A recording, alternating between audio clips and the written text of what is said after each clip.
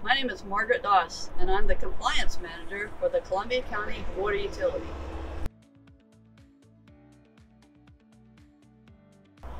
I learned about this job opportunity many, many years ago from my grandfather.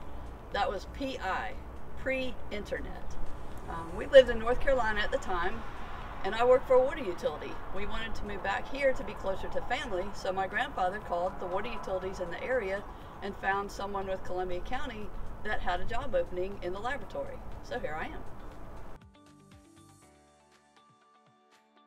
What I enjoy most about Columbia County is actually who.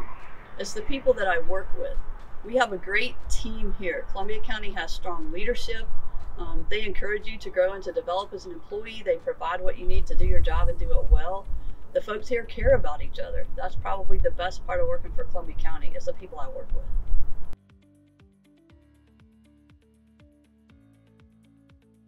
If you're going to look for a job with Columbia County, I would tell you two things. First, know what you want to do. And second, be persistent. The county has jobs in a lot of different areas. We have um, obviously laboratory operations, we have business office, we have fleet, we have GIS, we have technology, we have recreation.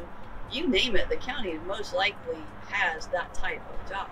Once you know your strengths and know what kind of job you want to have, check the county website on a weekly basis.